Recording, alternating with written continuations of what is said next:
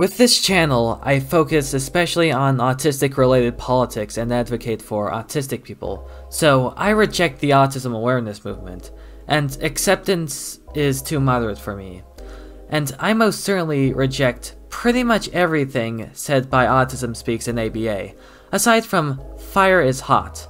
But I will also critique the neurodiversity movement for accepting too many ideas from the diagnosis of ASD or autism spectrum disorder and its implications.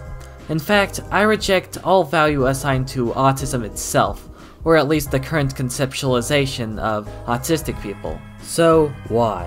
Why do I believe this? Why do I have to be so strange? But moreover, I want to suggest why you should be a little strange. I do believe that we should spread awareness and prevent autistic oppression.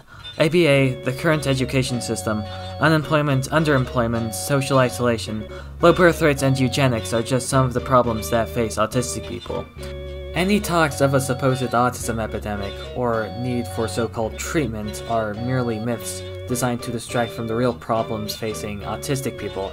In fact, I am absolutely disgusted by autism culture for trying to erase autistic people, in a similar way one might be disgusted by burning books or littering. It is degenerate. It's not that you should respect them, but rather they should respect you. We're pointing out real problems, which most of society doesn't even know exists. In fact, they may as well have embraced it, as most people either see us as either mentally handicapped or as a plague that needs to go extinct. The society where 4% of people have AUD, 33% of people have obesity, and 21% of CEOs are literal psychopaths should not decide the fate of millions of people and their descendants who did nothing wrong. So I do think that ABA and almost every institution with autism in the name should be dismantled. But you shouldn't hate without at least remembering what you love. Hate is better than indifference, as it implies that there was at least something you loved. Not only is eugenics against autistic people immoral, but it will destroy something beautiful before you could even see it. This may be my bias as an autistic person myself, but I think that we are the most oppressed minority next to Native Americans. Autistic people are treated like animals, are dying out as a population, and most of all, not to be hopeless, but it's rather disturbing that nobody can even imagine something better. Most people stop at replacing ABA with special education. The main reason why autistic people caught my interest is mostly because of double empathy and its implications. You see, when we think of autistic people, we think of someone who is unsocial, or at least less social than neurotypicals. This is what I could have thought, but I remember seeing a video back in 2018 or 2019. Autistic people are often seen as naturally disabled, but as I learned about the autistic psychology and double empathy, I realized that being autistic has as much pros as it does cons.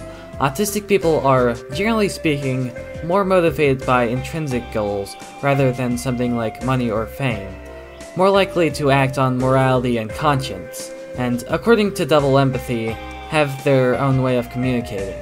The virtues we don't know, however, are not as important as what we aren't sure of, Double empathy, if you haven't heard, means that autistic people communicate just as well as neurotypicals, but only between each others. As with neurotypicals, it's kinda like speaking French when everyone else speaks English, and you have no choice but to speak French or to speak in French grammar. It's not that we lack communication or social skills, we just have nobody who speaks our language, if you will.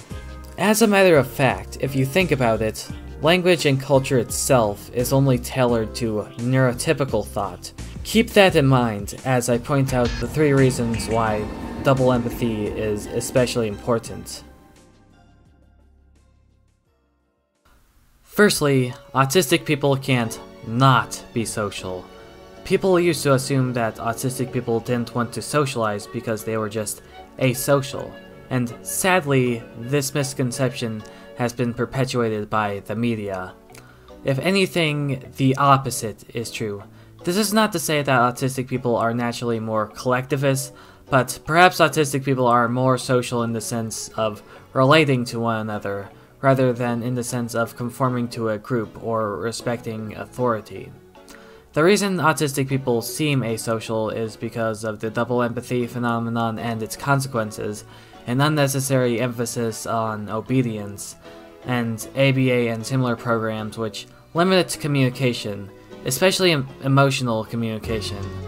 I'm pointing this out because maybe the problem is that we can't make friends, but that it's hard to make friends when 98% of people socialize in a way that only makes sense to their psychology, as opposed to our psychology. To explain why I say this is complex, and it will take a lot of videos to fully explain, but I'll go over it quick. Autistic people seem to be more altruistic and detached from the self, to the point where we tend to be self-destructive under a society which is less communal. And so far, we aren't faring too well separated from each other, having executive dysfunction, higher rates of depression, anxiety, PTSD, and suicide. Speaking of difficulty, how did the people who had to deal with double empathy even begin to exist? Autistic communication works contrary to how neurotypicals communicate, with very little advantage, in fact, almost no advantage at all. Examples include how autistic people handled eye contact, info dumping, and very specific conceptualization. While some of these are caused by the same thing necessary for technological advancements and the engineering done by autistic people, the autistic psychology as a whole could have never evolved under a neurotypical society.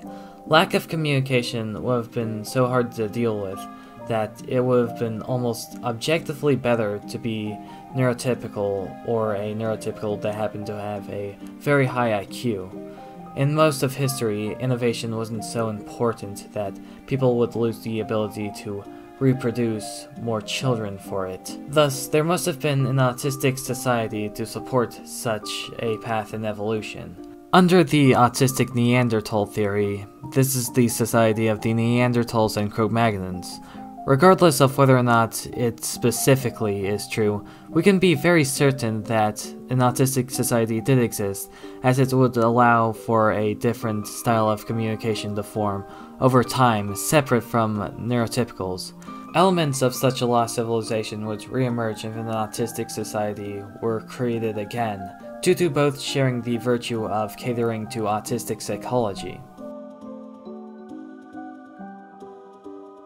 The last two points are strengthened by the fact that autistic psychology itself is augmented in neurotypical society.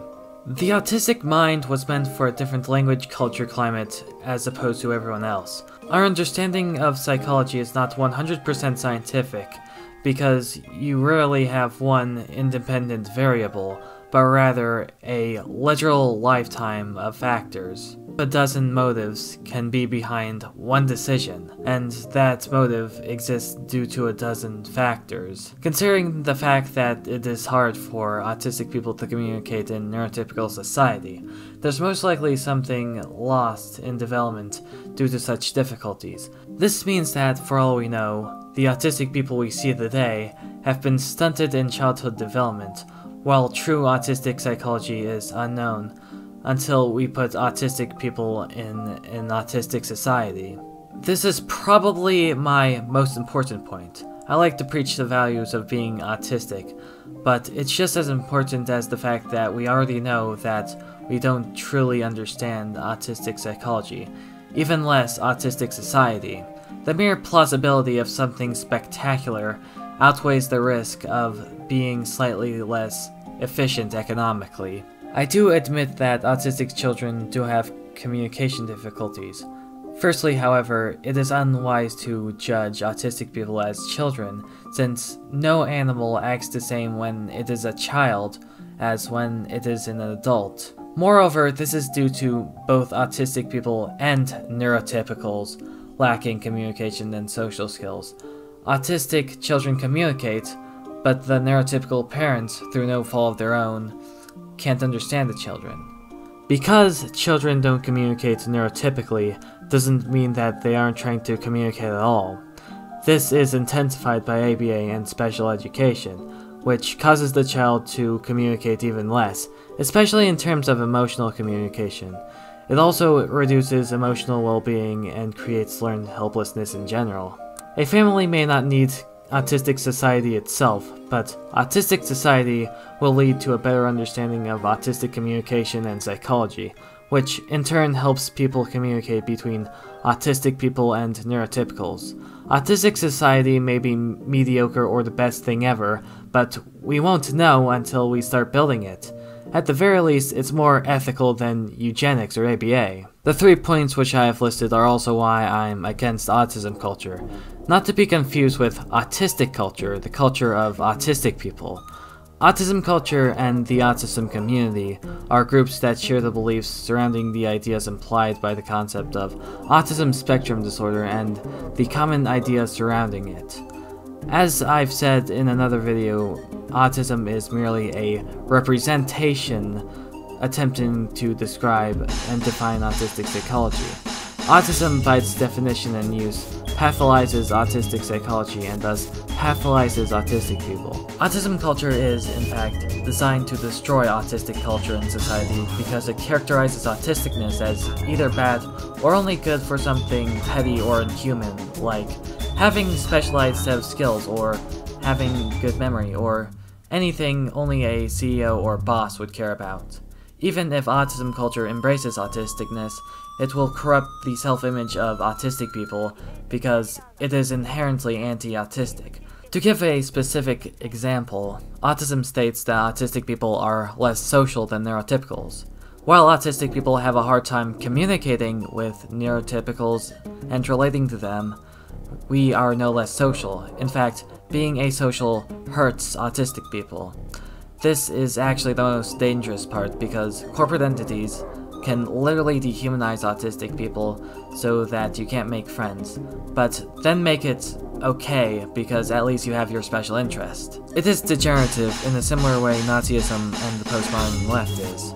They threaten to destroy autistic civilization before it can even exist, but it doesn't have any plan to replacement. In a similar fashion, the postmodernists destroyed the West for the sake of destroying the West, and the Nazis were more focused on killing minorities than actually helping the German people. Such ideologies range from unjust to evil either way, but they can at least create something after the destruction. I don't see autism culture helping out neurotypicals, or anyone besides rich people who perpetuate it.